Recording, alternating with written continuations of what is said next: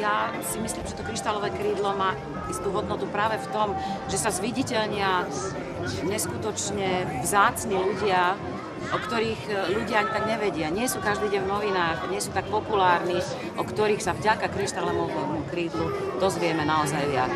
Tu na Slovensku máme skutočne úžasných odborníkov a takýchto vzácných ľudí, o ktorých by sa naozaj malo viac písať.